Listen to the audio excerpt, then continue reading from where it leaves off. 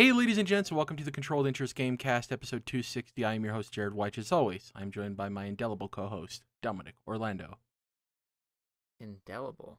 I don't even know that word. Wait, no, I do because I used to think it was edible or inedible. you, I, yeah, I'm not calling you edible, thankfully. Um, Yeah. I got I got to start off this way just because you know it's every four years it's the World Cup. USA, USA, USA. You know we don't we don't get to cheer on our country far too often outside of you know. Funny enough, real quick, Dom. One of the arguments against the Uf, uh, UFC, the USA for the World Cup is like, oh, the only reason Americans don't care about soccer is because they're not good at it. They play a bunch of sports only they care about. Uh, with people, and that's you know we're not good at it because we don't care about it or whatever. And then people forget to just go and Google how many Olympic medals we have. Like far and away, we have the most Olympic medals. It's not even close. So it's always been a weird argument. Anyways, hopefully we win. By the time this comes out, I think the Netherlands game versus US will be done. So hopefully we come out winners. But like I said before we started recording, Dom, we're in the knockout stage. It's, we're playing with house money. you know, we win, we're cheering them on forever. If we lose, eh, we weren't supposed to be this far anyway. So it's a good spot to be In in. the words of Gordon Bombay, we're Team USA and we're going all the way.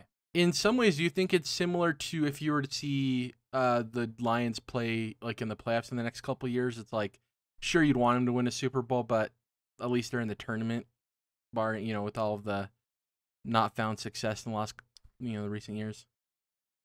I guess. I mean, that comes into play more of like how dissatisfied you might be after if they lose. Yeah, know, true. like, How competitive they were in that game. expectations are lower. Yeah, but you still want to win it just as bad. I think. Yeah, true, true. Uh, so maybe not exactly the same. Anyways, we got an interesting show, show for you this week. We're going to be talking about the Game Awards. Uh, we're going to be predicting the award winners and then also saying who we want to win. So a little bit of a different thing there. And then we're going to be giving our predictions for the show. One thing I want to uh, make note of at the top is that this is the last podcast we're doing for 2022. Uh, we're going to have a nice holiday break.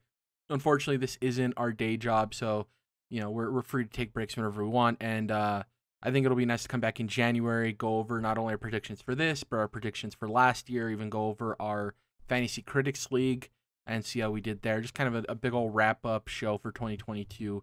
And then uh, one of the first podcasts I want us to do too, as a maybe a bonus uh, podcast, is our spoiler cast for God of War Ragnarok. I think that'll be really dope. So yeah, hopefully you guys enjoy this episode, and then we'll see you guys in the new year. But let's get into it. We got a couple of news stories before we hit the Game Awards section, Dom. So we're gonna start off with uh it turns out people love Pokemon, Dom. Uh sales reports came out and A little bit. Scarlet and Violet sold 10 million copies in the first 3 days, which is absolutely wild. And it's one of those cat's paw things of the game itself is and I'll talk about this later when we talk about what we've been playing is cuz I've spent some time with it is it's a lot of the, the evolutions, wink wink, that people wanted in a Pokemon game, but it came with all of the performance issues and bugs. Thankfully, I haven't experienced many of the bugs. I've had one crash in my entire time playing it, which kind of caught me by surprise. And I haven't had any of the weird like uh bugs where people are like halfway in the ground or Pokemon are halfway in the ground. Mine's pretty much just been performance based. Um, but I've kind of gotten used to that with a lot of Switch games, so it's not impacting me too much. Like I'm not one of those people that's like, oh my god, it's running at you know 20 frames a second. I haven't had the crazy stuff where it's like running at one second or my the polygons and characters are shifting into interdimensional space beings.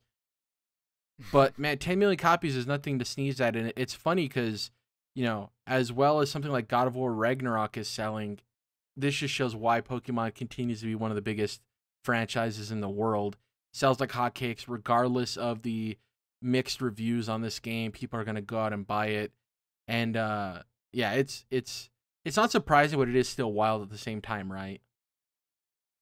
It, it is, and there is that. I did see that they committed to, you know, fix putting out some patches to get it fixed up as much as they can, which is good. Obviously, you hope for that, which not exactly incentivized to do so when you're Exactly. still selling off the shelves. But yeah, that's like wild. Um, especially like like we compared to, you know, God of War brag- bragging, Ragnarok bragging about having sold five million copies in the same amount of time, and and that's pretty impressive too. Also an exclusive, but then Pokemon just doubles it like it's no big deal. Yeah, and I think I think they're pretty comparative simply for the fact that God of War Ragnarok came out on both platforms. So if you add the PS4 and PS5 sales, I'm pretty sure it's very similar to that of the Nintendo Switch, right? I'd assume, give or take. Mm, okay. So I think that's pretty comparative. Maybe we'd have to crunch the Yeah, numbers, but like, it's not like far off. Yeah, so there's as many Switches as there are PS4s and 5s. That, I mean, there's probably less Switches, but not that many less. Well, and It's close enough. I don't, I don't know though, because didn't the Switch become one of the best-selling uh devices? Oh, did it? Did it pass PS4? I didn't think it did, but maybe I'm. I don't know. I, I, I might be talking out of my ass if I'm being completely honest. But still, I think it's more comparative than people would assume. Because I think a lot of times people think of God of War Ragnarok as like a PS5 game. Um, but it did come out on the previous gen as well. So I think it's pretty comparative.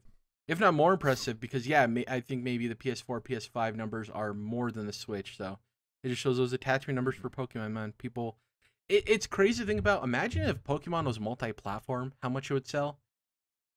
Yeah, that'd be absolutely Plus, they have that. I'd be curious too. I don't expect it to be that many, but how many? What percentage of people who buy each Pokemon game buy both versions? Right. I don't know if it's that high, like- especially in the day with like internet infrastructure and being able to trade through that and stuff. Um, Oh, good point. yeah- Maybe like five percent of people bought both. Something like that. Maybe not that many. yeah, or the people who have multiple kids who just buy the bundle and get one for each too. That's also a thing, right? Yeah. So, yeah, but really cool. Impressive nonetheless. Next up, uh, a a- dope piece of news for PlayStation. I labeled this one "Adapt or Die" or not. Uh, Sifu live action film is in the works. This was announced this morning, the day of recording, which is December 2nd, and it's in the works by John Wick creator Derek Kolstad, which is pretty dope. I think that's a perfect matchup. Uh, if you've seen any gameplay for Sifu, it definitely gives off that close, tight action movie vibe of, uh, you know, the hallway scenes from Daredevil or even obviously John Wick. So I think that's a perfect pairing for the director. Um, and I do think this is something where, you know, we often talk about Dom. Are adaptations worth it? Are they justified? Do we need games to be turned into live action stuff? We obviously talked about it at length for stuff like Last of Us uh, and other properties. With Sifu, I think this is perfect because when people play that game, they love the gameplay and the atmosphere, but no one's talking about, oh my god, the story is great. And I think adapting it to live action in a movie can take it to the next level where you actually provide that strong narrative in addition to all the dope environmental and combat stuff that the game has provided, right? Yeah, and it's kind of like one of those things too, where it makes me think of every new movie we see. It's kind of like you find out later on, like, oh, that was based on a book, or that was based on, you know, whatever it was that was old, and you just never knew about it. Yeah. Um, seems like a lot of stuff is just not entirely original. Like it's just more common than we- might think, and so why not? ha if we're gonna do that, you know, do it for games a lot. Like if there are original games or you know that can inspire you know cool adaptions like yeah why not and i think i didn't i didn't hear about this till just now but yeah i think sifu that could be pretty cool i didn't play that game um but i could i could definitely see that being a cool movie especially with the creator of uh, John Wick. That kind of like just makes sense. It's like, oh, I see Yeah. that pairing. Um, yeah, it's it's interesting because you know I think the big thing with producing live action stuff is it's a risk, and anybody in Hollywood would tell you that these producers and these uh, just production companies in general would rather take a chance on a known quantity than a new IP. They often say that new IPs are the hardest thing to get greenlit in Hollywood. Um, and that's why everything is based on a movie or any of that stuff. And that's why they say that uh, co- the comic route is really huge for IP because uh, studios are much more willing to take an established comic book that's already created, regardless of how successful it is. Obviously, the more successful it is, the more likely it is to be turned into something. But just the fact that it already exists, they're way more comfortable with that than creating a new IP from scratch, which is really interesting. mm-hmm. So we'll see what happens. This sounds dope, and I can't wait to see uh, what it looks like because, you know, they turned John Wick, a single action movie, into a pretty big franchise, and I do think Sifu. We we don't really have like a major martial arts uh, franchise currently. Uh, I, we haven't really had one honestly since the days of like Bruce Lee and and even Jackie Chan's golden era. So it'd be nice to see that come back, and I think Sifu is a cool enough property that they could do that, especially with the creatives they have attached. Uh, next up, I labeled this one. We need an attorney. Uh, so during an interview at Milan Games Week. Yeah, that's a thing, which I didn't know. I know about Milan like Fashion Week and stuff. I didn't know there was a Games Week, but you know, the biggest entertainment medium in the world, it's gonna happen. Which it's so funny to think about people like high fashion people in Milan talking about video games. It just cracks me up. Uh, accomplished voice actor Troy Baker, because of course Troy would be in Milan, because who else? Where else would he be?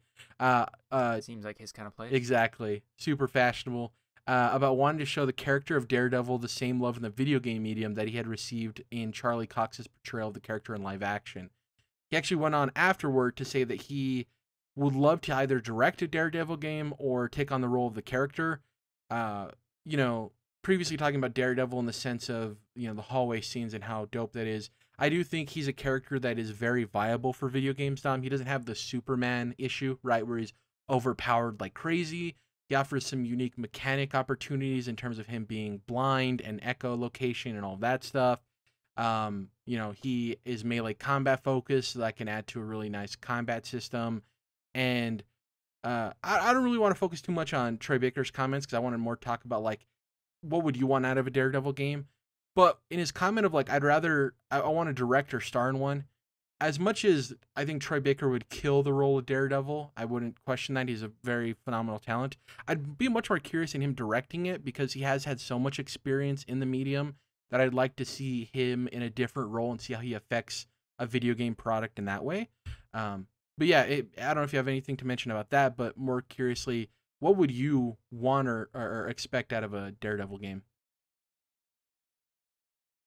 I don't know, cause that's trickier to me. Um, cause he he doesn't quite. eh, You're gonna have to correct me as I'm wrong here and kind of speaking out of ignorance, but obviously, you know, tight like hand to hand combat, right? Kind of like a Sifu, something like that, or an Arkham game. But what does Daredevil kind of have as far as other abilities or gadgets or other things like that you can use to like kind of make that gameplay? So detective vision would probably be huge because he can hear people's heartbeats from a distance. Yeah, Um, okay, that'd be cool. Yeah, I it I think I'd be curious to see if my dream Daredevil game would be a perfect mix of Arkham combat and approach with uh, uh like a classic Tom Clancy stealth. Because I think if you can merge those two things together where you have moments of tense uh stealth gameplay where you're trying to get through areas unnoticed and then you also mix that with combat arenas where you can show off combos and stuff like that. I think it'd be really fun. Uh, you have opportunities to have other characters enter the mix and play as them. Uh, but the big thing too to make this wholly unique, Dom, is I would love if the game went from you being Daredevil to you being Matt Murdock. Like I'd love if you were it was like uh, Ace Attorney Yeah. where you were in the court and part of the game was you being an attorney and solving cases. I think that'd be really cool too. Um, So, what if this is then, yeah, because I my uh, my my baseline was like an Arkham game, right? But let's like let's scrap that, and instead this isn't gonna be like an open world game. This is gonna be a really linear, um, kind of like more zoomed in kind of game, right? Like an Uncharted or something like that. Um, so like really focus on that combat, like feeling really good and really tight instead of just you know having to throw in a bunch of different abilities and um, ways to traverse the world and all that kind of stuff. So like really focus on that, but then I'm extremely, extremely focused on the narrative and the cinematic kind of feel of it. And then that I think would make it easy, even easier to do something like you're talking about, is include some kind of cool, uh, you know, dialogue stuff in in a courtroom and you know talking with clients or interrogations or what I don't even know. Um, it, I think we're onto something. So let's not publish this podcast, but instead let's pitch this to Whoever. Naughty Dog or whoever. Um, and, uh, a, a neat And, idea uh, I have, you mentioning that is, yeah, not open world, make it like level based, but a cool thing you could do to Mhm. implement the stealth is that me and you could both play through the same level and it has the same ending, but from point A to point B, depending on how stealthy you are, the route you take, how careful you are with things, you can gather more or less information for a relevant court case. mm, So when you get to that Yeah. court case, you have all the information you've gathered, but if you're somebody who doesn't like stealth gameplay, you have less to work with. You still have the ability to be successful in the court case, but if you take your time and approach things a certain way, you can build stronger evidence for it. That comes to like hearing stuff, that comes to finding evidence, all of that. I think that'd be really cool. So Yeah, one really cool. dictates the other. Like the court cases you need to pay attention to because you need to know what you're looking for, what you need to hear about, and then the actual uh, Daredevil gameplay. You need to be careful with the way you approach things because you know that can have a drastic effect on how successful you can be in the court side of things. And having those play off of one another, I think, is really cool. Everything you just said actually is um they kind of do exactly that in Knights of the Old Republic because I just, obviously I just played through that earlier this year and um totally like different kind of game setup there obviously but they do do that where going through this whole world this whole planet you're on going through all these different quests gathering different evidence um, you have tons of different ways to approach it and things you can discover and things you can learn through different methods that all impact how a court case plays out and how you present the evidence and stuff like that and it was one of my favorite parts of that game. So I think you're onto something, I guess is what I'm saying. Well, and the cool thing is I think it really opens it up for expansions post release too of where you can you can release a case that's solely focused on a certain villain like a kingpin case or something. And because it's more level based and not open world based, you can kind of handcraft those and have like a cool expansion come out afterwards that maybe follows up the main story of the game. I think it'd be really cool. Mm-hmm. I I, I want that because yeah, if it was just a combat focused game, you know, I don't want Arkham with a Daredevil skin. I want something that feels right. distinctly Matt Murdock, and that is crafting the court side of things with the Daredevil side of things. So we'll see. Mm-hmm. That's our pitch. No one take it. Copyright, TM, trademark, all that good stuff. uh, now we're going to be talking about the Game Awards. We're going to be predicting it. So this year saw the release of incredible games spanning various genres from developers around the world. We're going to take a look at, I picked 12 categories, and we're going to predict which game will win the award and also explain which one we'd like to win if we had a, a dog in that specific fight. So to make it clear, our predictions are only counted for the games we think we're going to win. So we're going to be predicting, you know, game of the year, this game is going to win. If it doesn't, we don't get a point. When we talk about what we want to win, that has nothing to do with the predictions. We're just saying, like, I hope this wins. You know what I mean? Just a little bit extra conversation there. So the 12 categories I brought up, and we're also going to do predictions afterward, are most anticipated, best adaptation, best multiplayer, best action adventure, best role playing, best indie, best performance, best score and music, best art direction, best narrative, best game direction, and game of the year. I left out a lot of the esports stuff and a lot of the less, I wouldn't say relevant, but I think these are the 12 most core award categories. And then uh, in, in, in case we get a tie, I have a tiebreaker that I'll explain when we get there. And uh, we can also mention if we feel something's been left out of the award, like a big snub. Um, but let's get into it. First up, I want to start with most anticipated. This one's a fan voted one. This one's one that can go in numerous different directions because who knows. The nominees are Final Fantasy XVI, Hogwarts Legacy, Resident Evil 4 Remake, Starfield, and The Legend of Zelda Tears of the Kingdom. Now, this one is tricky because I honestly think it's a two game race between Starfield yep. and The Legend of Zelda: Tears of the Kingdom. Yep, that's what I was thinking too. I think you can cross out uh, Hogwarts just because uh, yes, there's enough people that don't like J.K. Rowling, and as far as anticipation goes, that's an easy one to not anticipate. It could be a dark horse because there's a lot of Harry Potter fans, and it's a general. It's weird with people who vote on this because they're not necessarily the hardcore of hardcore, but they're not so general that they don't know what the game awards are. So that's kind of weird.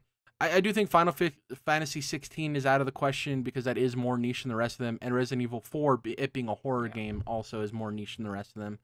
Uh, yeah, I do agree that Hogwarts. Legacy is out of the running. It's tough though because if there was a From Software game on this list, I'd pick that no matter what because that fan base is more fervent than any. Um, I would say The Legend of Zelda: Tears of the Kingdom is more highly anticipated generally, especially with hardcore audiences. But people have been waiting so long for a mainline Bethesda RPG to release, especially following Fallout 76. I think Starfield is going to win, but I want Legend of Zelda to win. But I, I do think it's going to be Starfield. Yeah, I I thought Starfield too, um, because I think, but first of all, both of these games were in this category last year. yeah. so it's kind of funny to point that out. But Legend of Zelda is this is a it's not even like typically a new Legend of Zelda game is a new game, but this one is specifically a sequel to Breath of the Wild, which is they've done that before, but not they don't typically.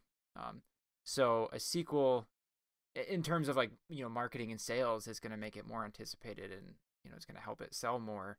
But when this is voted just by like you know gamers logging into the Game Awards site and voting, I think um, the new IP, the newness of Starfield, makes this more anticipated to me. Whereas, I mean, Tears of the Kingdom, it even looks you know the same exact art style as Breath of the Wild. You know, not that that's a negative uh, in how we might perceive the game when it's out, but for like most anticipated, Starfield is like, dude, you're telling me we have we have Elder Scrolls, we have Skyrim in space. You know, that's that's the pitch, right? Um, distilled down into you know the most basic way, but that's exciting, and I think uh, Starfield wins. I guess I could look up who won it last year, and that might be a good indicator. But I I thought I think Starfield wins too, and I hope it does. The thing here is, if Starfield was multi-platform, I think it'd far and away easily be the choice. The fact that it's exclusive, I don't know how salty PlayStation fans are going to be. Not that Xbox fans aren't salty, but you know what I mean. But Legend of Zelda is also exclusive, Yeah. so it's like, well, that's a weird thing to me. Why isn't Marvel Spider-Man Two on this list? It's a great question. Yeah, how did they get this list? Uh, Yeah, well, maybe because I don't know if I thought Marvel. Spider-Man was at least like dated for 2023, but I could be wrong there. I thought so too. Yeah.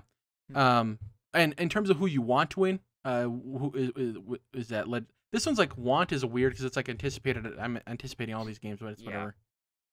I'll say I'm most anticipating Starfield. Maybe. Yeah. is a better way. To I wonder if the delay plays a factor too of like people already expecting to already play this game by now, so the delay gets them more anticipated for it. Whereas we've waited so long for even mm-hmm. the title of Legend of Zelda that I think people are like, okay, the date's there. And with the Nintendo, Nintendo rarely delays Zelda. So after the date's announced, am I right with that or am I wrong? Like a specific date, not like a loose. Um. That's weird. Uh, there's just not as many examples for them, frankly. Yeah. we don't have that many Zelda games that exist. But I never, I um. never think that like, okay, it's March 24th and then it gets delayed. I, I know it gets delayed like year to year or like spring 2020 something Mhm. to like fall.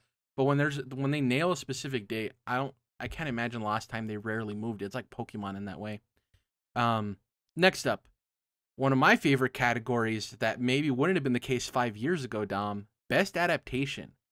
This is obviously adapting, as we talked about earlier with Sifu, this is adapting video games to other mediums, uh, obviously TVs and movie. So the first one is Arcane, obviously League of Legends adaptation. We got Cyberpunk Edge Runners, we got the Cuphead show, we got Sonic the Hedgehog 2, and we got Uncharted.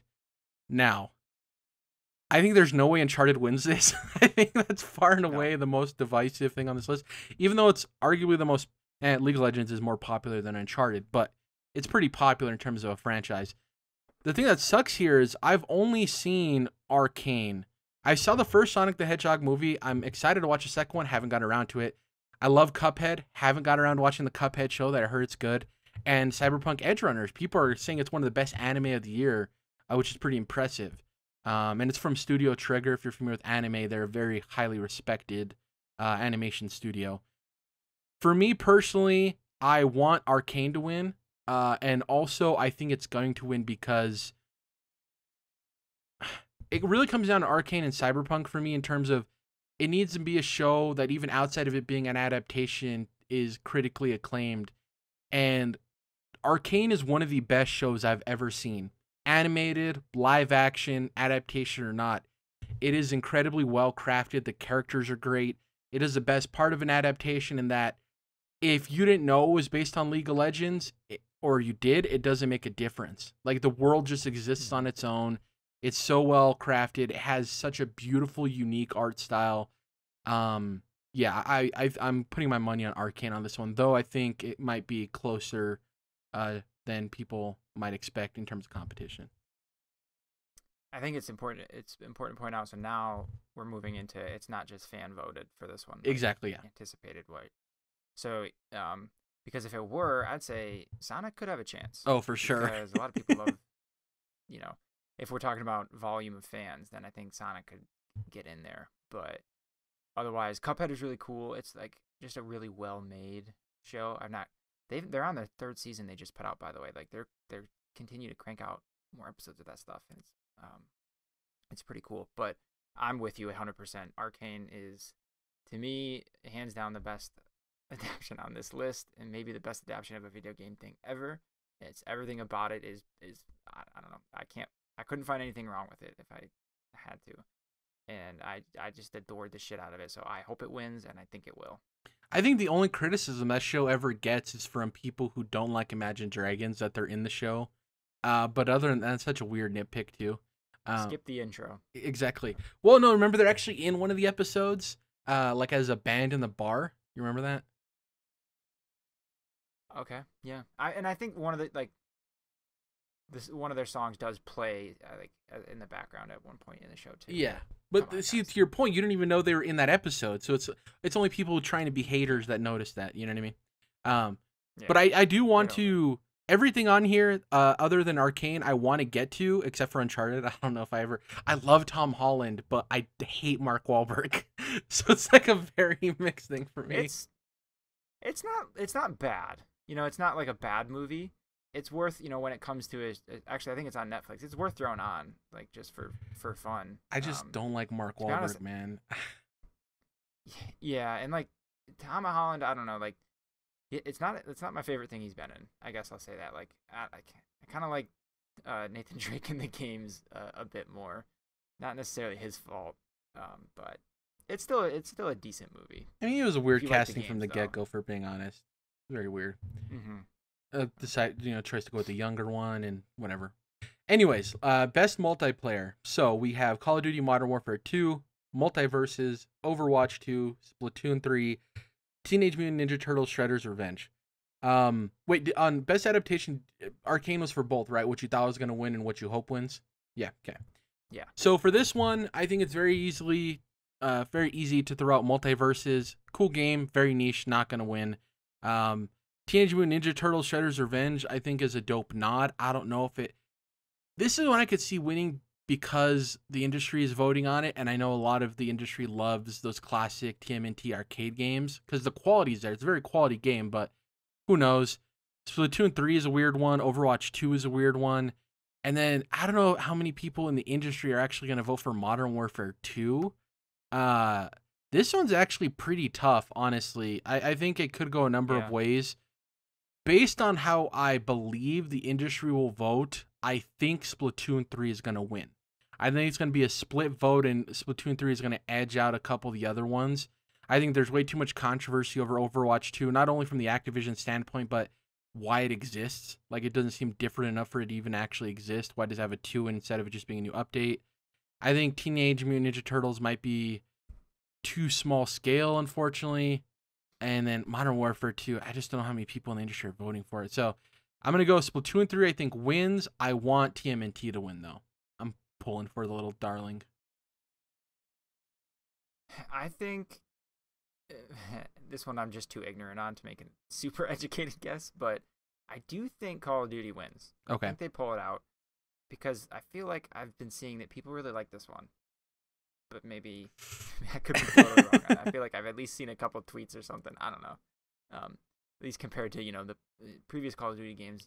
Typically, I mean, Give it a month and we'll see where people sit. You know what I mean? it might be a bit different. True. Yeah. and the, and this category is just so odd because I, yeah I don't love Overwatch because it I didn't even know that that came out. I because of kind of what you said like when people are still playing Overwatch and it's the same as it was and uh, I don't know that's just odd to me. Multiverse is like actually I, okay I hope Multiverse wins because that would be funny and it's such a weird thing that that exists. Um, I, I- Free to play multi platform yeah, I- Smash Brothers, man. Yeah, and it's like Smash Brothers just makes so much more sense to me. Like that combination of that group of characters, right? Like Nintendo, they feel more more Cohesive. like they belong together.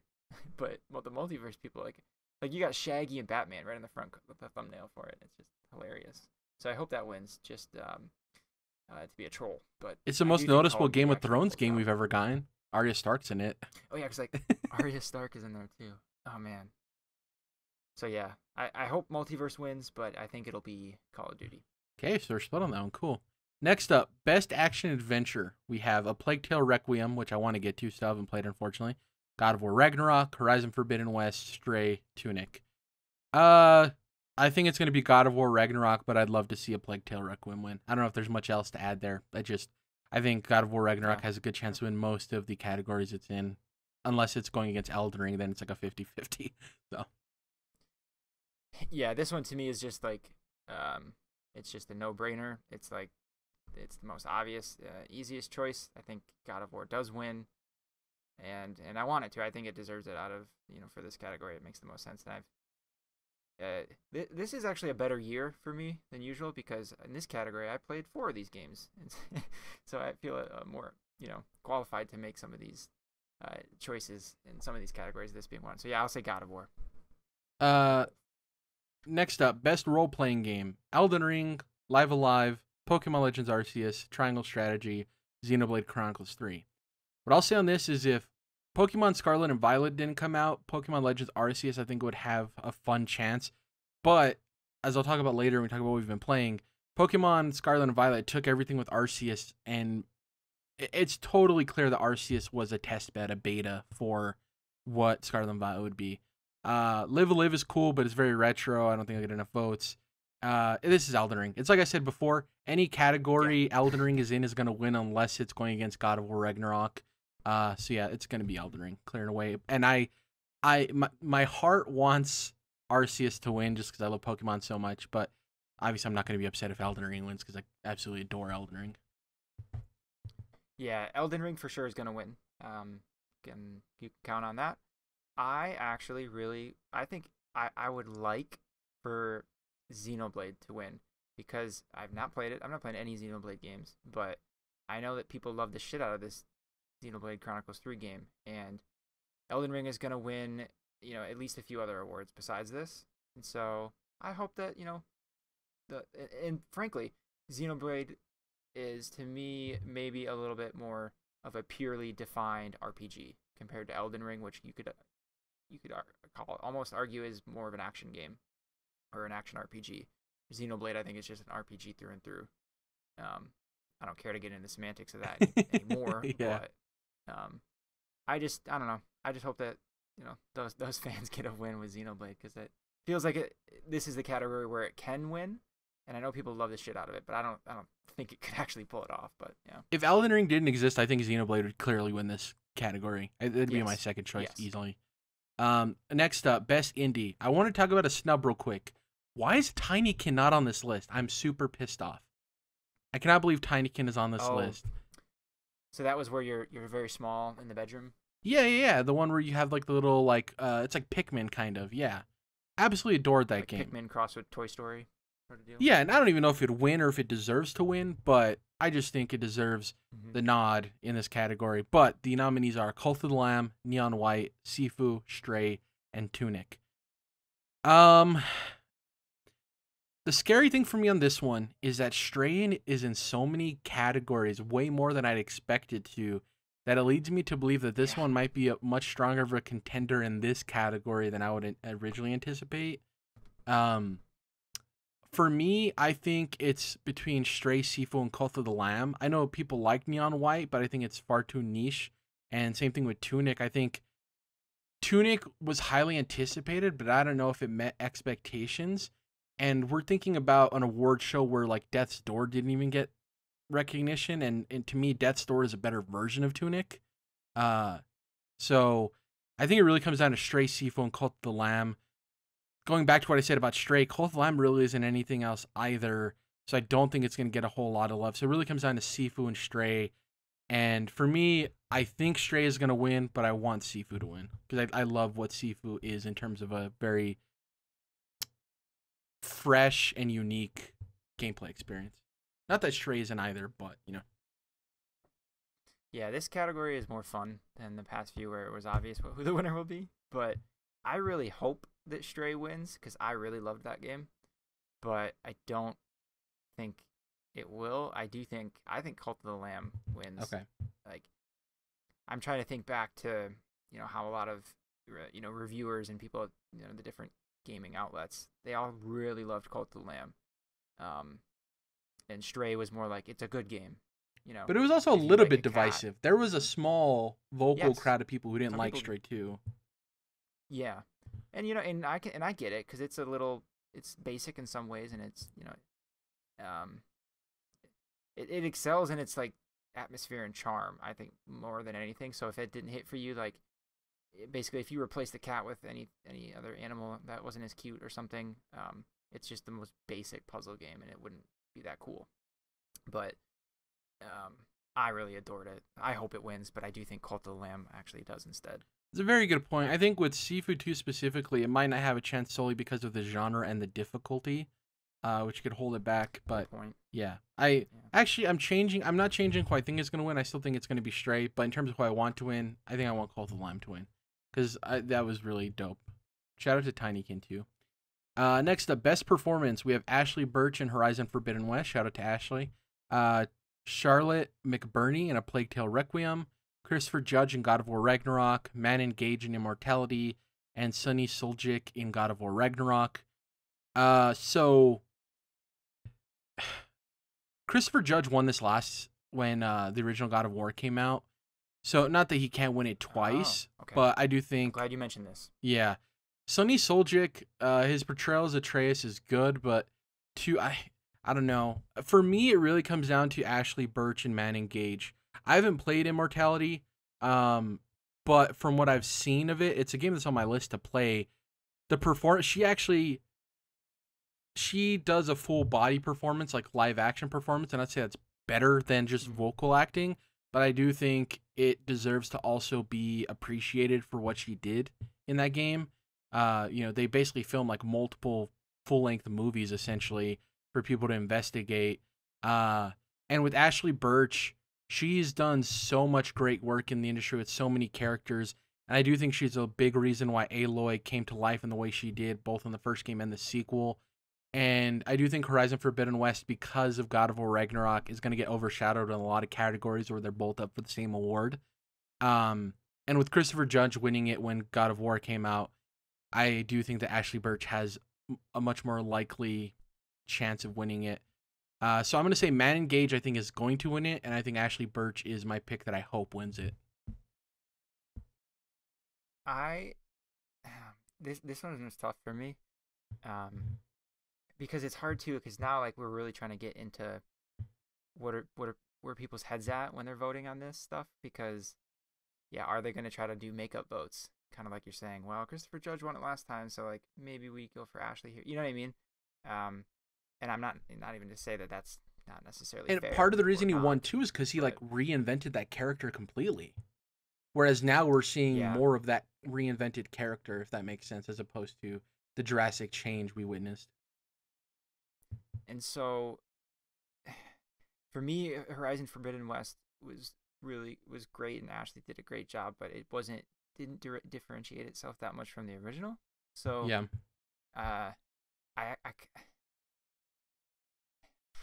I think christopher judge wins again um because he does even more um than in the first game like kratos evolves even further uh, I don't want to spoil things for you or anybody else, but um, and in his performance, like it's just such a weird character to try to play, and you're doing that gravelly voice for the most part, but then like you're still trying to like use that to express emotions in different ways, and I don't know. I think what he did in that game was just like it's like next level. Like it's not. It's like m- way less volume. Like he doesn't even have as many lines. Like probably he has like twenty percent of the lines that Ashly has in Horizon.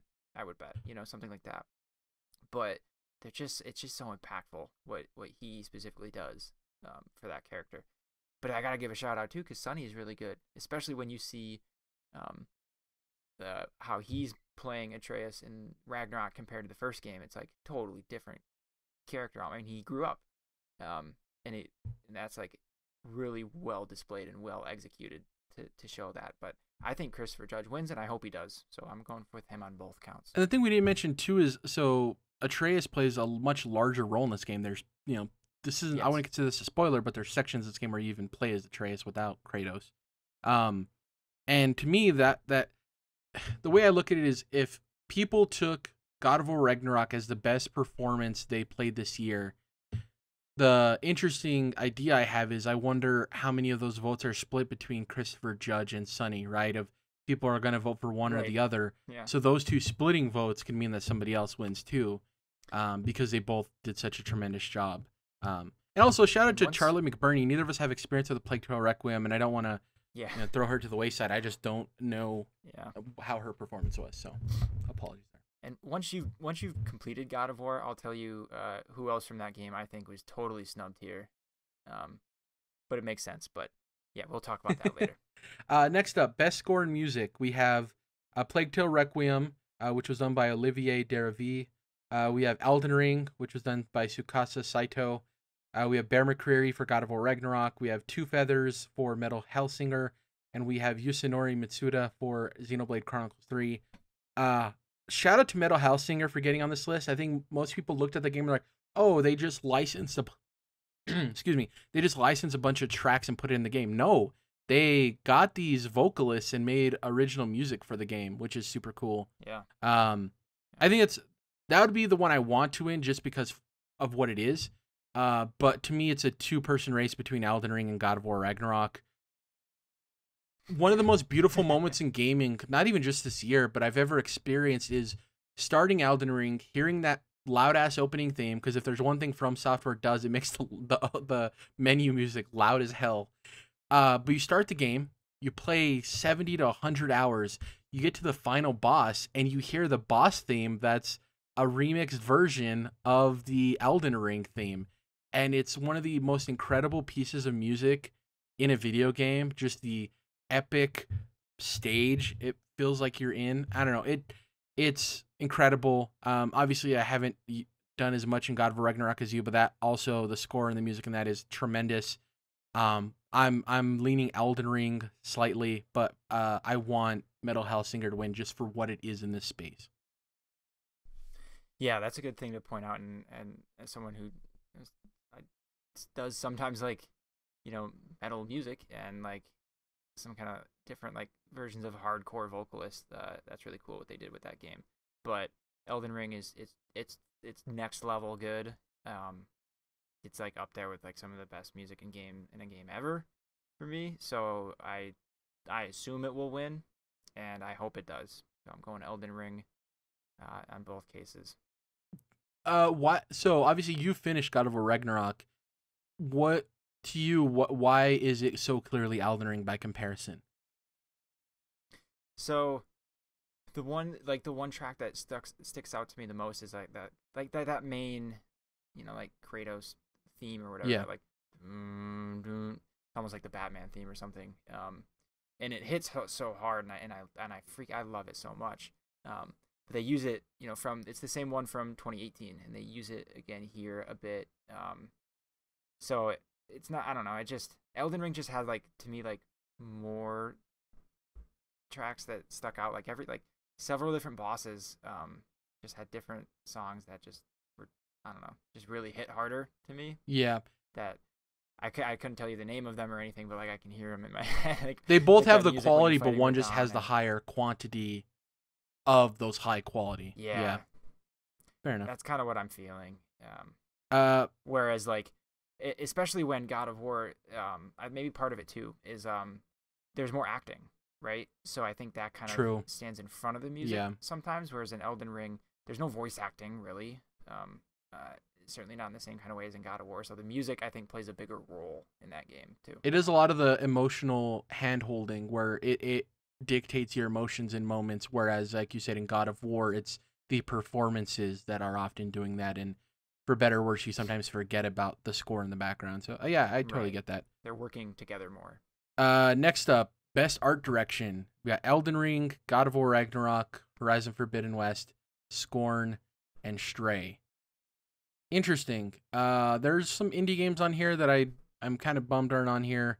Uh in terms of best art direction for me and i don't know if this is fair or not god of war ragnarok and horizon forbidden west are very beautiful worlds but they're not too different generally speaking than what we saw in their original outings. Um i think people are scoffing at scorn being on this. I think it's pretty impressive to make a horror game like almost exclusively inspired by hr giger. Uh, and it is grotesque, but it is it is intended. It, it's it's a world with intention to make you feel gross, and I do think it's unlike anything we've seen. And when I when I think of art direction, I think of somebody presenting something that is so uniquely itself. Uh, we talked about this with Arcane. Uh, I think Arcane is obviously, in terms of art direction, is one of the most beautiful animated shows. You can talk about Spider-Man into the Spider-Verse. When it comes to the video games this year, even Stray, I don't think it looks wildly unique. It, it looks great, don't get me wrong, but I don't know if art direction is something I'd applaud Stray for. For me, it's really between Elden Ring and Scorn. Uh, and Elden Ring is just a juggernaut, man. That world is so vivid and deep. And the moment when you get down to the underworld, where I'm forgetting the name of it right now because it's been a while since I played Elden Ring, and you see the purple universal sky there's just so much about that game that City. Exact uh, Nokron Eternal City, I think, or something like Nokron, that. Yeah. Uh, I think the thing that From Software often gets overlooked for is almost all of their games take place in a dark fantasy world, and those can so easily blend together. But I can so clearly tell the difference between the world of Bloodborne and Dark Souls and even Demon Souls and now Elden Ring. And Elden Ring is obviously it has parts uh, that are uniquely Dark Souls, but it feels also in the same way distinctly itself. So I'm gonna go with I'm I think Elden Ring is gonna win, but for what Scorn did, I I, I want Scorn to win because I think it's so unique in its art direction and what it accomplished. Yeah, to me this is um, this is like just the easiest thing. Um, so you know you're playing Elden Ring and you're in that Nocturne Nokron City or whatever underground, and there's stars above you, and, and it's like incredible. And then then you're fighting this giant spectral deer, and then you know before this, you know you're in that first um, valley area. I forget what it's called when you first start out. Um, but then later on, after you've played this game for like almost 40 hours, you get to this Altus Plateau area that is like the most beautiful, like yellow and auburn looking place you've ever found and and then you get to the city there that capital city and it's just so incredible how everything looks elden ring is like to me it's just like miles and miles um past everything else in this category. Um almost similar to music because it's like the art direction is great but it's just so much different. Art direction the the different environments that you visit are just so different but also convincing in what they're trying to make it feel like so I'm going. I think Elden Ring wins, and I hope it does because it's just so damn beautiful in so many different ways. Yeah, a snub that I think could have been here. I think is Triangle Strategy. I think the HD 2D stuff oh, is yeah. so beautiful, um, and really impressive whenever it's showcased. Um, next up, best narrative. We got A Plague Tale: Requiem, Elden Ring, God of War: Ragnarok, Horizon Forbidden West, and Immortality. Here's the thing. I'm tired of this argument of uh, why is Elden Ring in this category because people believe that the uh, only way a narrative can be told is through linear storytelling and yeah, I don't know. It's just it's a tired argument, man. It's I'm already over it. Um that being said, earlier what did I think that Immortality had a chance to win for was best performance. I do think Immortality mm-hmm. has a chance here because of the narrative it did in such a unique way. Um, but I do think it really comes down to God of War Ragnarok and Elden Ring, as most awards do. And I love Elden Ring's narrative, and I do think it does belong in this category. But in terms of what God of War Ragnarok brings, I do think it's that elevated storytelling that people are kind of thirsty for in video games now. And I do think from what I've heard, obviously non spoiler, but from what I've heard, what people completing it is that it, it does feel like the second half that fulfills the story of the first game. And uh you know even from the opening moments when you are introduced to thor and odin having those discussions and we talked about this a couple of weeks ago on the podcast of just the conversations and the palpable tension and all of that i just i think it's god of war ragnarok. But i wouldn't be surprised if elden ring wins and man would the internet riot because Apparently, it's not even supposed to be in this category. But yeah, I'm gonna go. God of War Ragnarok does win, but I do want Immortality to win because I I do think that that game deserves to get recognition for what it brought, for how distinct and unique it was. So. Yeah. Um, the story in Ragnarok is, first of all, this is a category where it's hard to separate it. I think from the first game because it you know, in, in some cases, I think it made sense how we talked about it, where you know, they, it, for art direction, you know, it we're visiting a lot of the same worlds from the first game, so it's harder for me to want to you know vote for it again, basically.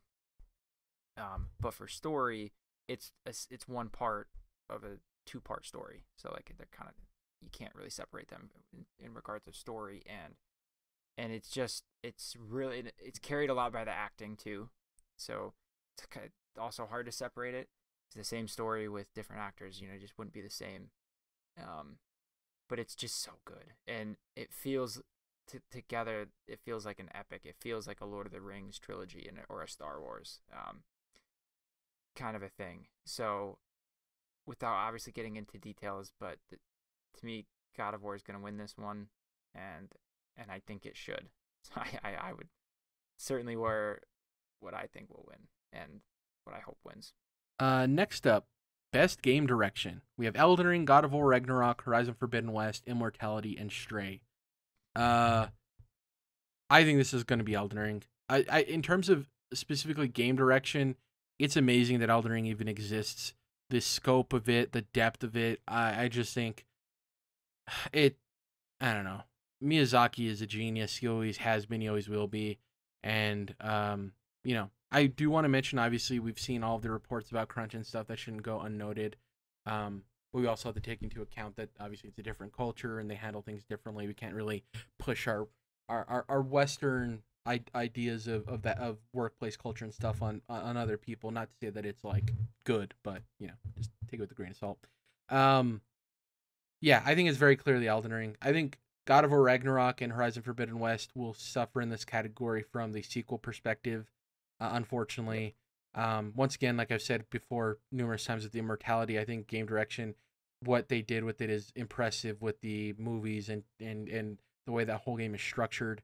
Stray, it's a good it's a good game from what I've heard, but even to you what you said, a lot of it is there's not a whole lot of innovation necessarily in that game. So I don't know if people would be willing to throw it in the ring as best game direction overall. Uh, so yeah, I'm, I'm gonna go. I, I think and I hope Elden Ring wins. Yeah, when I think back to Elden Ring, how it, how the world just makes you want to explore it, and I don't know, I don't. It's hard to even like put into words sometimes, but it did that thing that Breath of the Wild did, where it just incentivizes you in in the most unique way to want to go explore things. But it did it even better than Breath of the Wild. Um, and and then to your point, like the fact that it, it even works, that it all exists, like the way it all comes together is in- incredibly impressive. Especially like when we think about that game came out on just about every platform, right? Xbox One and PS4 and 5 and Series X and PC and all the variations of all those consoles and like I feel like there weren't really technical issues at all, and I don't know. This to me is just it's right in the uh, right in the breadbasket of what this award should be for, and mostly because of like you said for Horizon and God of War. God of War, I could have totally, you know, I would expect this to have won it in 2018 when the game first came out, when the first game came out. Um, but it's in terms of, you know, direction and like gameplay design, it's not not innovative enough compared to compared to Elden Ring at least. Um, and same for Horizon. And then Stray, I, I can't understand to be honest why it's in this category. But yeah, so I think Elden Ring wins this, and I hope it does. Yeah, instead of Stray, I would love to see like Cult of the Lamb, where it mixes the simulation community building with the roguelike. I think that's much more interesting in terms of game direction than Stray. Mm-hmm. So that's yeah, it is a little weird that it's on there. Um, now we got the big boy game of the year. Plague Tale Requiem, Elden Ring, God of War Ragnarok, Horizon Forbidden West, Stray, and Xenoblade Chronicles. I'm gonna be honest, no hate on Stray. I don't know why it's here. I don't get that.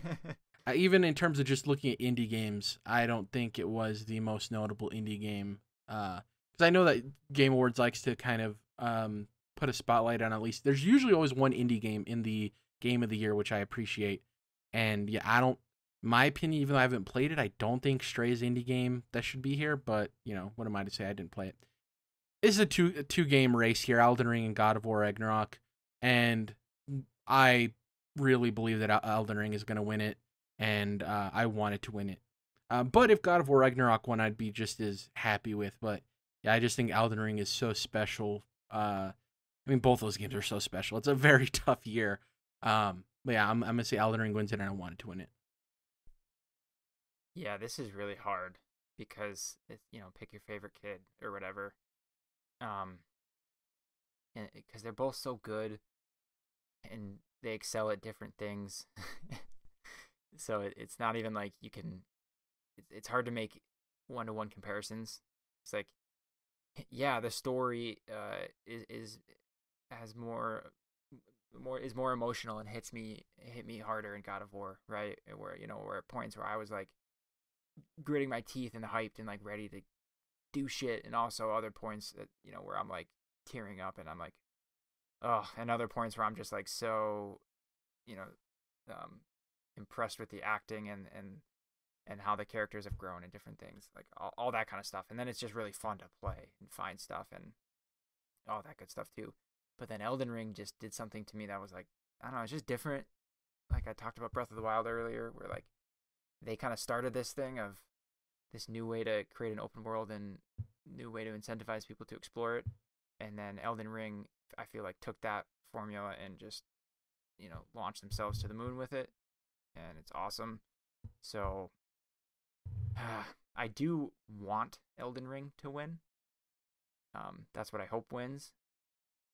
I don't. I'm split between what I think will win though, because when I look back, God of War 2018 had to beat out both Spider-Man and Red Dead 2 to win Game of the Year that year, and it did it. Really impressive. Obviously, both really great, all three really great games, but God of War came out on top there. But also, From Software is known to win some Game of the Year awards themselves at, at this show, right? Sekiro won um, Game of the Year.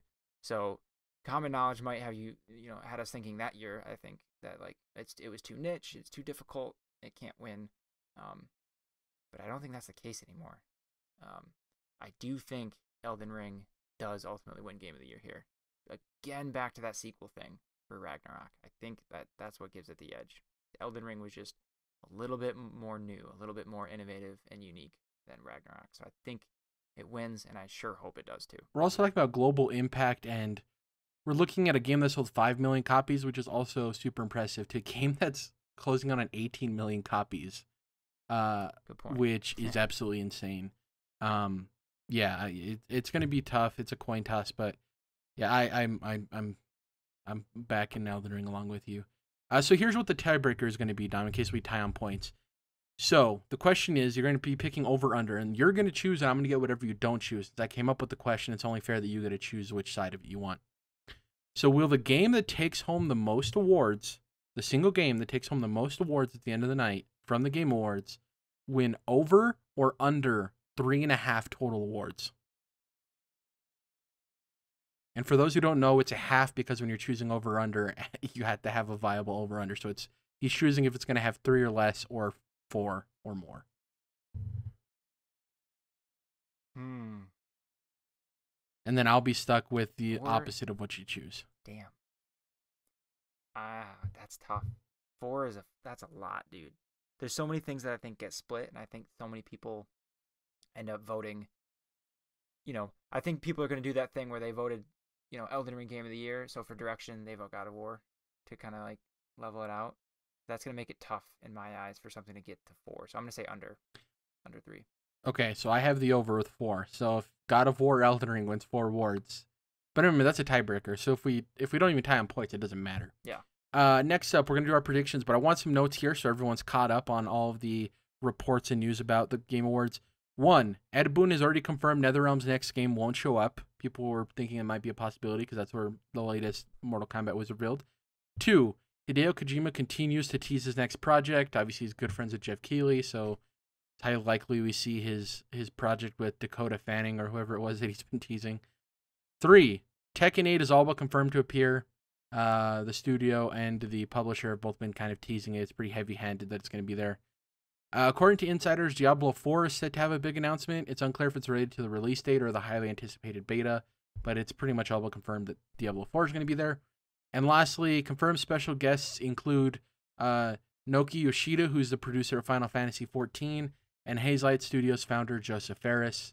Uh, obviously, just because they're appearing doesn't mean they're going to be showcasing any games, but keep that in mind. So we're going to go with our predictions. We were both uh, come prepared with five. I have mine in ascending order from most plausible to most wild, Dom.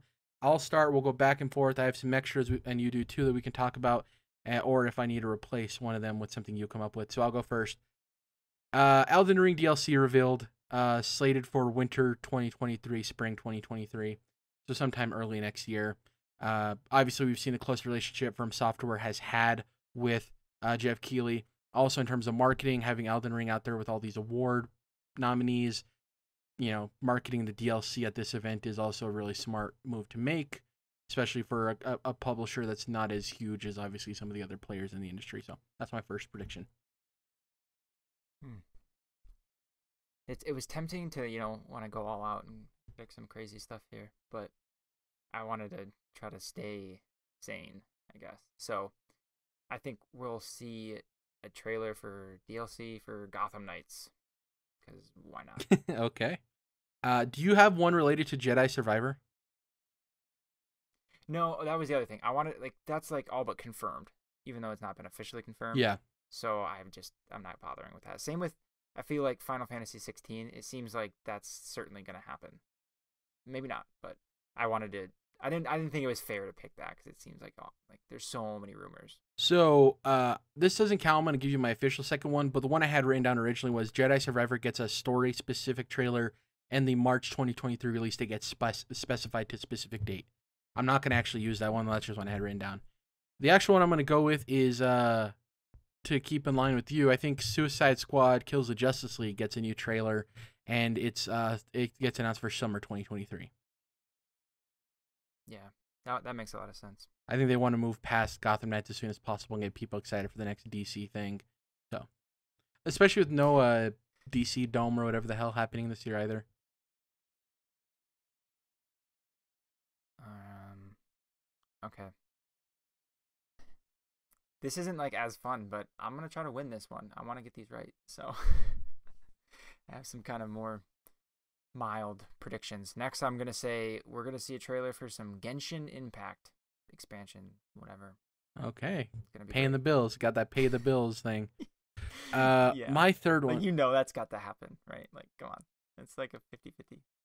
Yeah, uh, I'm gonna I'm gonna say two real quick. They don't count. They're just ones I had listed that I'm not gonna use anymore.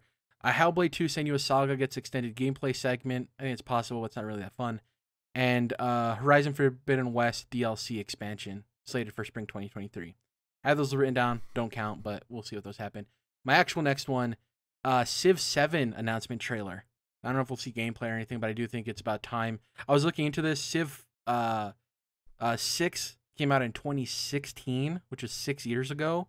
Oh, damn. And Civ 5 came out in 2010. So 2022 from 2016 seems about the time in which you would get a Civ 7 announcement. Um, so yeah, I'm, I'm banking on that.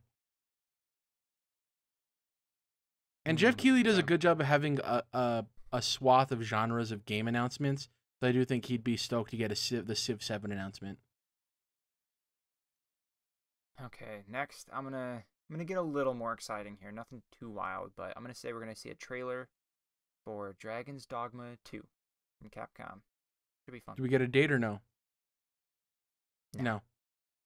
Uh, next up, we're going to get uh, ooh, let's see here. Which one am I gonna do? I'm gonna go with this one. This is my fourth one. Uh, Marvel's Spider-Man 2 trailer, dated for 2023. I'll even go as far as to say fall 2023. And but the big thing about this trailer is we're gonna see the official first look at Venom's design in this world. Because we got the tease of him in the first trailer, but we don't know what he ac- actually looks like in this uh, version of, of the Spider-Man universe. So it's my fourth. That will be pretty hype, and I really hope that happens. Eddie. what's your what's your fourth uh, prediction? Because we saw it, or like we heard his voice, but he was in the shadows and we couldn't actually see. It It was like cascaded like an alleyway. Yeah, we just saw his shadow with like light. Mm-hmm. Next, I'll say. I really I wanted to do something fun like um, I thought about saying you know Dwayne the Rock Johnson will be on stage for some reason, but um, I won't say that. We do know um, Pedro Pascal and um, uh, what's who what's the actress's name that plays Lyanna Mormont? Bella Bella Ramsey. Ramsey. They're both gonna be there, so we might get a new That's cool. Last of Us trailer, which is sick. That's really cool. Look forward to that. Um, no, I'm gonna stay mild again. Um, because I don't, I don't think we get. I want. I wish we could. I could say that we're gonna get a trailer for like the multiplayer Last of Us game, but because we just saw like you know that promo art or whatever from yeah, summer Keighley's Summer Game Fest, and that was it. And they said it was still working. uh, They're still far off. I don't think it's time yet. I wish I could say it was, but instead, I'm gonna say we see a trailer for Marvel Snap, and it's gonna be introducing some new characters that haven't been in the game yet. If that makes sense. Do you have any other ones? Because I want to help you out on this one because they just recently announced like a bunch of brand new stuff coming to the game in a video and new cards. Okay. So the chance of it appearing at the Game Awards is probably not likely. I, I keep up a little bit more with the Um, game than you do, so I just want to bail you out on that one. Like, go with something else. That's why I slowed down at the end there, thinking to myself, maybe they have all the characters they already need in this game or something. I don't know, because I still haven't messed around with it yet. But I do have. I'll, I'll say another good one I think could happen is a release or a trailer including a release date for Alan Wake Two, and it'll be. Shoot, that game doesn't already have a release date, does it? I don't know. That's a good question. Maybe 2023? I think they just said next year, but I'm gonna double check. Yeah, so they ju- they've only said 2023, so they're gonna say it's gonna be, um, summer 2023. I hope the game comes out in And I'll have the October. Oh man, I hope the game comes out in October.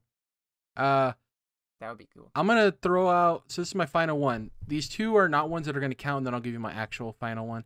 Uh, the other two I had listed were Dragon Age 4 gameplay reveal, which I would love to see, and uh, Hollow Knight Silksong release date, which I would also love to see. Those who are speaking from the heart, Yeah. but those aren't my official ones.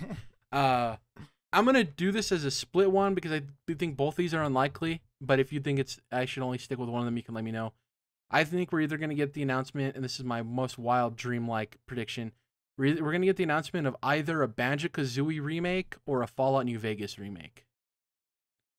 I think Xbox is gonna showcase a remake that comes out because I do think we're in the stage where we're waiting for their exclusives, their new exclusives to come out, and I think a new way to and a, a creative way to kind of fill in the gaps for Game Pass releases is to greenlight remakes of classic games people love. And if they're not going to license out Fallout to one of their other studios in the meantime, uh, I think the or Rare's not going to come up with a new Banjo. I think the best thing to do is find either a secondary team for those studios or a third team they can partnership with to make those remakes and kind of just bring them into the modern era. So one of those. I- would be absolutely down with that. yeah. But wouldn't bet on it myself. Uh, Well, the Fallout New Vegas Banjo. one has legs. There's rumors floating about that. The re- remake of oh, that. really? Yeah.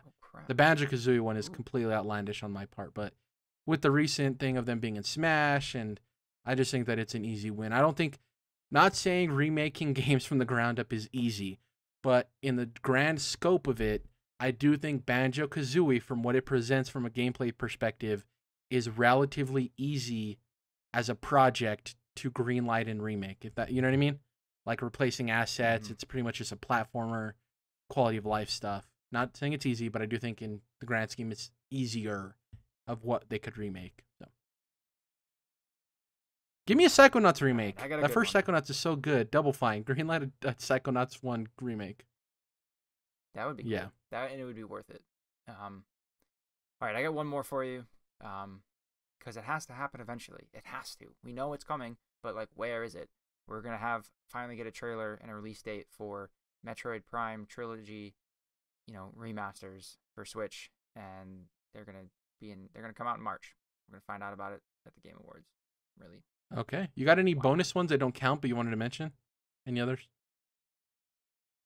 that don't count. Yeah, Bloodborne remastered gets announced. The one I'm surprised neither of us came up with. Neither of us said anything about the new Bioshock. I think that could is totally plausible to show up too.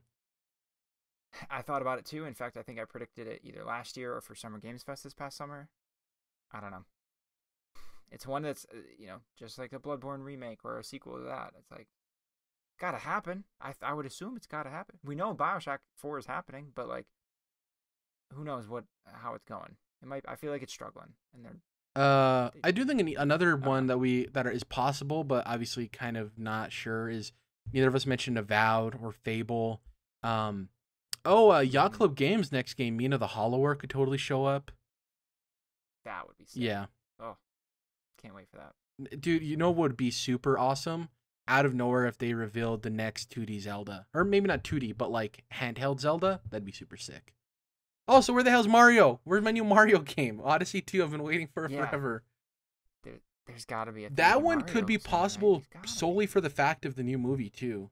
Um, Mhm. yeah, we'll see what happens. Also, did you have you seen the second trailer? Yeah, it's really Dude, cool. Mario it Kart. looks oh, we can have a whole conversation about that. Yeah. I'm really excited about that movie, and I think that has a chance of being Yeah. best adaptation next year at the Game Awards. Though it Mhm. won't win because Last Yeah. of Us exists, but you know. Oh, yeah. That's that that that's a good matchup right there. though. Yeah. Uh, anyways, that's it for our predictions. Uh, we'll see what happens. Like I said, this is going to be our last podcast for the year. Thank you guys for joining us. We'll see what happens. Like I said, when we return from our holiday break, we might be a couple of pounds heavier depending on how holiday dinner goes. But uh, we're going to be looking at, we're going to go over our uh, results for this. We're going to go over our yearly predictions, which, man, I can't wait to see how those age, Dom. Can't wait to see 12 months later how those 2022 predictions aged. Uh, we're going to be going over our uh, Fantasy Critics League as well. Though, depending on how bulky going over all of our predictions are, we might end up doing the following episode, Dom. I thought we could do Fantasy Critics League review for last year and then start up our one for the next year. I think it would be pretty cool to do them both in the same episode, maybe. Yeah.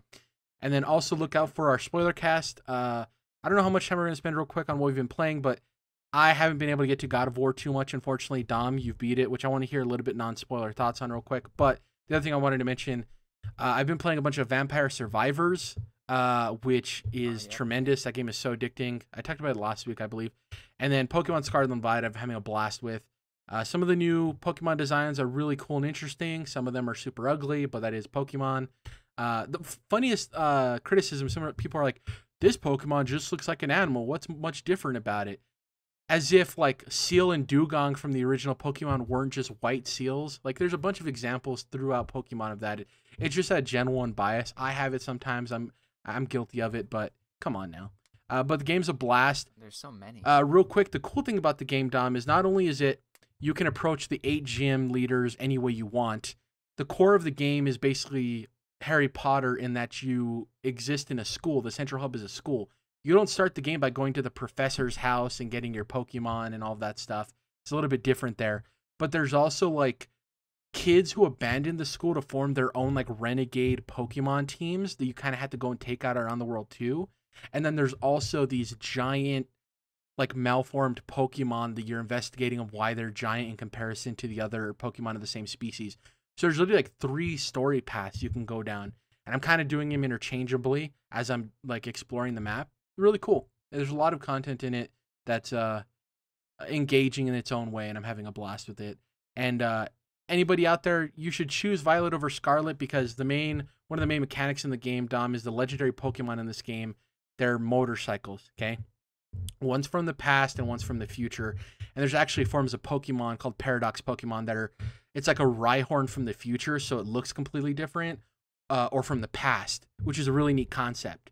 So it's like it's you see the evolution over time, right? So you can see like an older version of this Pokemon or a futuristic version of it, uh, and it's only for a set amount of Pokemon. Anyways, the reason you choose Violet over Scarlet, Dom, is because Scarlet's motorcycle is this dumb red dragon, goofy ass looking thing that doesn't look necessarily like a motorcycle that you ride around with.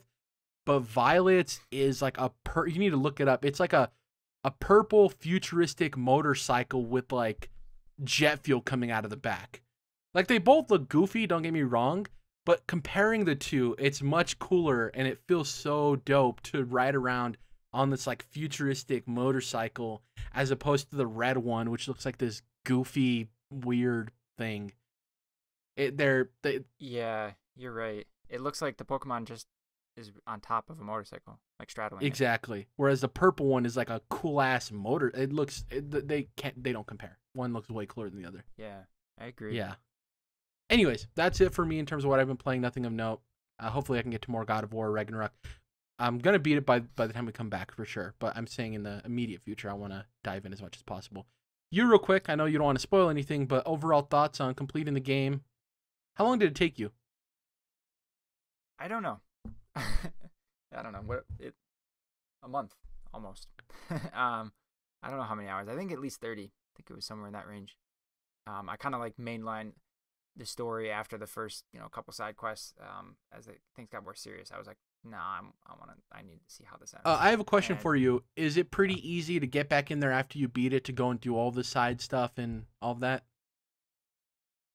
Or does it do the thing where it sets you before the ending of the game again? No, it the game ends and then it it narratively makes perfect sense that you can to continue and explore and clean stuff up. Gotcha. Okay. Um, what I will say is it it's kind of a pain in the ass because uh, backtracking into some of these levels, it's not just easy to figure out how you got to places. It's incredibly like a it's very much like a labyrinth in a lot of cases. When you go back to Vanaheim and oh, it's this jungle and it's so hard to figure out how you got to this place that you were at before, where you, or how to get to here. It's it, I don't know. It's fun the first time you're going through, but trying to backtrack is just a huge pain. Um, even with the map is okay, but it, it should be better, in my opinion. You have any Kinda like- intention of It platinuming same it? experience. Yeah, I'm working on Okay. it. I'm gonna. Um, I'm close, but yeah, it reminds me a lot of um, Jedi Fallen Order, where like trying to go back and get the collectibles in that game kind of was tedious. Um, although that map was better because it was at least three dimensional. Like you could at least like Eh. rotate it around and stuff like that. You could see like where little secret passageways were, but in this map, it's just kind of like it's just a top level map, so you can't necessarily tell Where how you got into exactly? Yeah. places. Well, I have one last question for you. Um, since you've beat it and I'm nowhere close, is there anything you wish you knew or would have done that you can, tell, like any tips you'd give me since I I'm have a lot more of the game to look towards? I don't know. I don't think so. I mean, it's not overly difficult. There's nothing that like you could miss. Um, it's kind of just yeah, just play it and just enjoy the story and enjoy the the characters and the acting. I guess. Yeah. Uh, one last thing: is like it a very clear Elden Ring where I can how, like, obviously early in the game, it's pretty easily defined what the side objectives are. Like, it's like we need to go to this specific location, but if you look over here, you can do this. Does it continue that so I know to how to mainline it? Yep, Okay, cool. It does that. It's really cool how it does that. And even two, you'll finish up like a main quest or something, and then just the way the way where the story sits, the characters will say, you know, Mimir will say like, "Well, yep, we're we're gonna go do that next, but we got some time to kill, so if you want to go over here and check out this stuff, we can."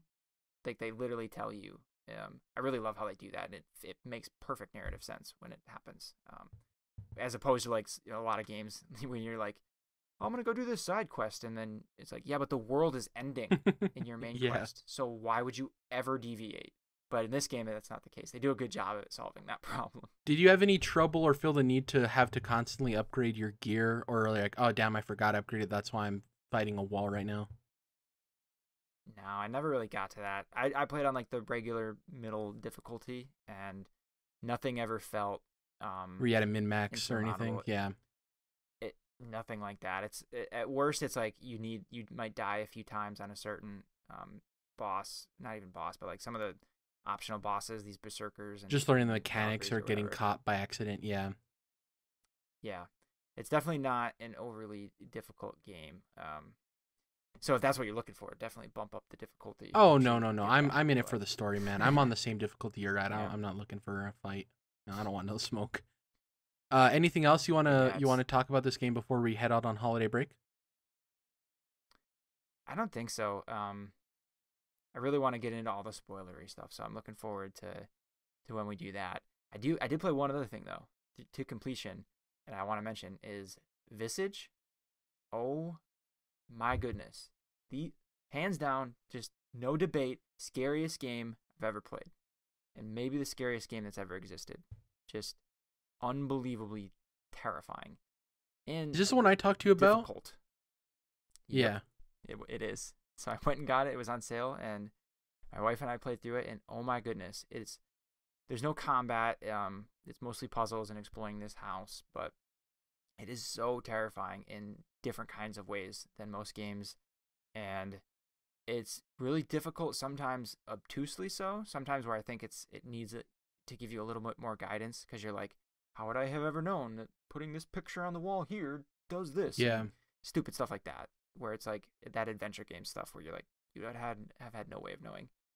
Um, so I do fault it for that, but some of that also um, makes it scarier because uh, you're not quite exactly sure where to go and the way that the lights work in the house, and it's just oh, it's for if you're into like extremely terrifying games and horror stuff in general, like you have to play this. I, I would say, even for its faults, um, I- you have to check it out. It's like one of the most memo- memorable gaming experiences I've ever had. Um, mostly, mostly for better, but obviously it's very niche. you don't go near it if you're not into spooky shit. Would you agree with me point that it is very clearly inspired by PT and does the execution of that like really I think it's the closest thing to PT we've gotten in terms of vibe of a horror game since PT. I think so. Um, it never gets too. It, at times, it gets abstract, where like you know things are psychological and changing on you. Um, and I normally don't like when shit gets too into that, because I feel like well, you could just make up any rules you want. And it's not as fun. Um, but it never it never goes too far into that to where like I didn't I I didn't or I hated it. I guess. Um, but overall, it's very PT. Like, um, you know, I never played PT that demo anyway. Can't anymore. But from what I had seen of it, um, it, it's it's similar, but even I think less abstract, which I prefer. And I think this is a beautiful example of so for people out there who might not like playing horror games and just want to check out this game, I highly suggest a scary game squad playthrough of this game because those guys are hilarious and this game is great. But that's how I watch it for the first time because I don't follow horror games all that closely. Not that I don't play them, it's just not a genre I like naturally flow to like you. But this is a perfect example of like just because you haven't played something, if you experience enough of it and you understand like one of your friends will dig it, try to recommend it because you never know. Like I never played this game. I just watched those guys play through it, but I was like, damn, this is a dumbass game, and that's why I recommended it to you. Yeah, And I'm glad that you ended up Yeah, it digging it. on. Yeah, so that's cool. Yeah, I just can't ir- iterate enough that it's like very hardcore. Just be careful. uh, yeah, that's it for this year's Controlled Interest Gamecast. We'll be back next year with all of the stuff I talked about. Um, yeah, excited for all the games coming out next year. Obviously, we'll have a preview episode talking about all the games for 2023, at least the ones we know about. Uh, but the cool thing is, hopefully, we'll have more games already slated for 2023 post Game Awards, Dom, that we can talk. Fingers crossed, Hollow Knight gets release date and all the other games we mentioned. yes. Um, but yeah, thank you guys for listening. We'll catch you guys in 2023. See you then.